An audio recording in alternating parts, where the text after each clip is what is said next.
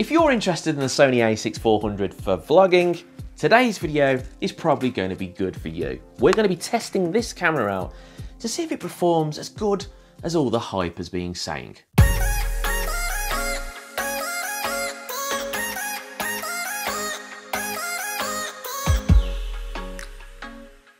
Welcome to Ben's Guide, your guide to the best news, reviews and how-tos from the world of photography and video. Today we're getting hands-on with the Sony a6400 to see if it really performs as well as it's being touted to. The three key main features that every vlogging camera needs to excel in are these. You've got to have a flip screen for starters. This is so you can see yourself when you're talking to the camera. And this is because you don't want to drift in and out of the frame.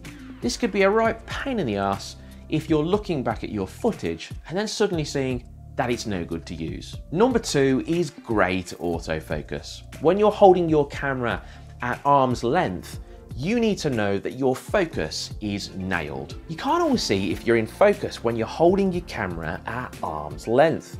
So it's so important that your autofocus is nailed and that you could just trust that your camera is going to do a great job. Finally, the camera that you're using for vlogging needs to be lightweight. If you're a vlogging channel on YouTube or any other video platform, and you're holding your camera out there regularly for long periods of time, you need it to be light. Because if it's going to be heavy, you're going to be getting an uncomfortable achy arm, and that could even result in you dropping the camera and then losing your frame.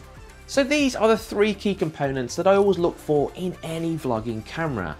Now, of course, there are other features that you need, but these are the three key components which I always look for first. Okay, so I'm really excited about getting out and actually testing this camera out to see if it's any good at vlogging. So we're gonna go out the studio for a little bit now, test it out and see how it performs. Let's start with the screen. The a6400 has a flip round screen, which enables you to turn the screen around and see yourself when recording. Very important when you're vlogging. Sony has opted for this kind of articulation instead of Canon's side screen. I honestly like the screen at the top. I feel like it's more of a natural place to look when you're checking you're in frame. The screen movement is a little stiff when moving, but really it's nothing major. Though the screen is in a more natural place to look, opening to the top of the camera provides a bit more of an issue. It makes using the top horseshoe mount pretty much redundant. If I place the rig here, like this, I'm now blocking my view, and the flip screen is pretty much pointless.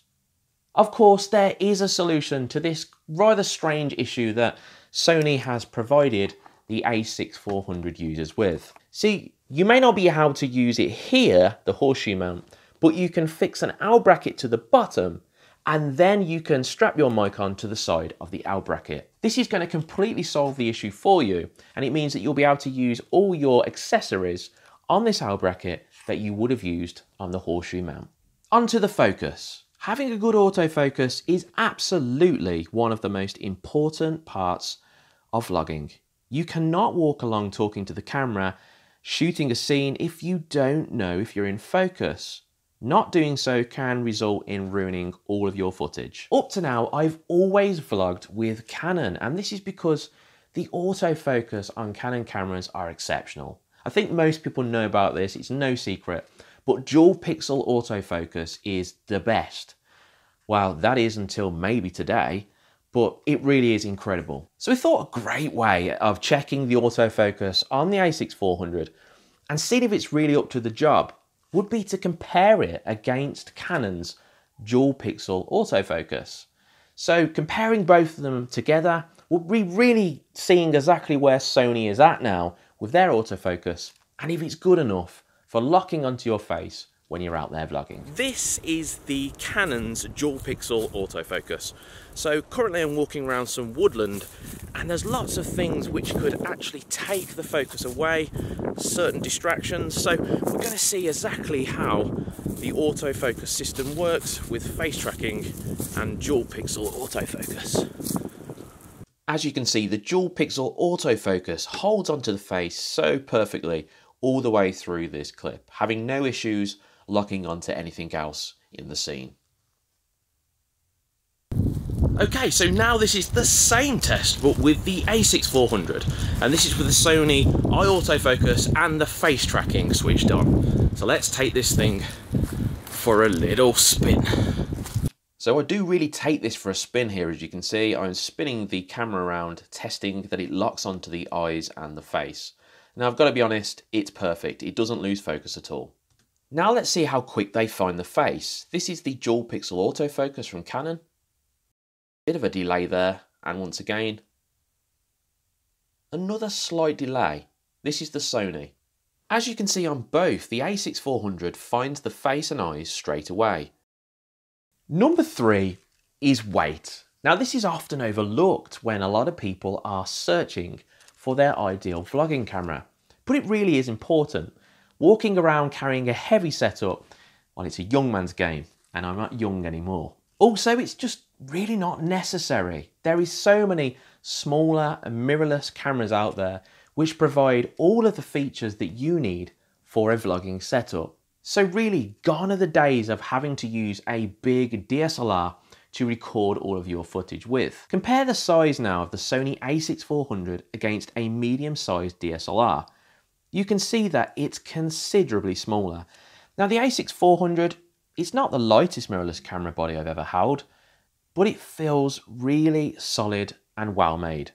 And it's a lot lighter than the DSLR. My usual setup is a GorillaPod and the camera. Sometimes I use an external mic, but most times I actually record separately through a lav mic to an audio input. So far I've shared with you the main three key components which I always look for in a vlogging camera. And so far the Sony a6400 has really lived up to its hype. Of course though, there are more features. About five or 10 years ago, the world of vlogging was all about walking around with a camera and just talking to it as you walked. I mean, the idea is pretty much the same, but now things have changed. These camera systems have a whole bunch of features inside them which provide video creators with so many more options. This means that we now get to watch more visually appealing videos on platforms like YouTube. I honestly think this is brilliant. Having all these features means that you now essentially have a small video creation machine which just ticks all the boxes. Now the Sony a6400 has got all these features covered. So you have time-lapse feature, you also have 120 frames per second in full HD. This means that you can get that lovely slow motion B-roll. You can get the cinematic shots as well, and you've also got picture profiles. This means that you can use HLG or S-Log. Now, if you don't know what they are, it basically means you're filming in a flat profile and then you can color grade your footage after and give it that extra cinematic look. Everything about this camera for vlogging is really superb. It has everything that you will ever need in this tiny package. But no camera is perfect. So I feel like it's only right that I discuss with you the few issues which I found with the Sony a6400. One of the issues I came across with the Sony a6400 was its limited touchscreen. Now, this probably doesn't sound like much of an issue to a lot of people watching, but when I vlog, I always have my screen, obviously, fully articulated like this. Now, you imagine when you're talking to the camera, sometimes you can have exposure issues or things that you need to change.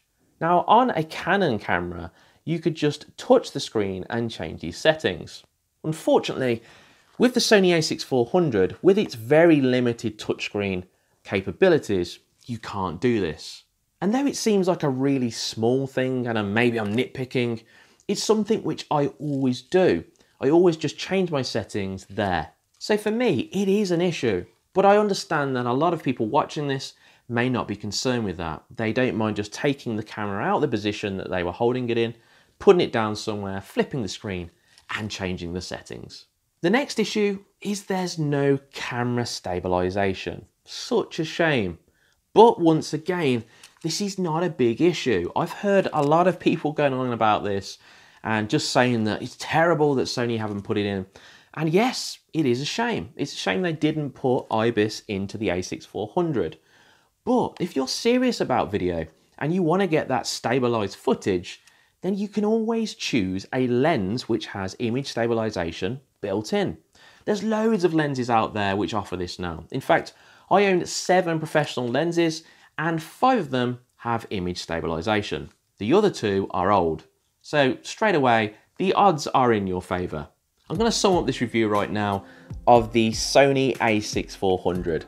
If you're watching this video and you really want to know if it's good enough for vlogging, the answer to that is absolutely yes. As a vlogging camera, it ticks all the boxes. You've got the fully articulated screen, you've got the great autofocus, you've also got a lightweight camera which offers all of the features you'll ever need to make a great vlog with.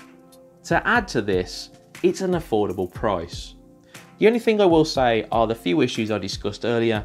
Get yourself a lens which has the image stabilization built in and that'll solve the problem. And if you want to take it to the next level, you can of course look at things like gimbals to get even smoother cinematic style footage. I want to know what you guys think of the Sony a6400. Leave me some comments in the comments section of this video and then we can talk about it after the video is finished. I want to thank everyone for watching today. It means a lot that you come on the channel and you watch these videos and support me. And whatever you do for the rest of today, make sure it's a good one.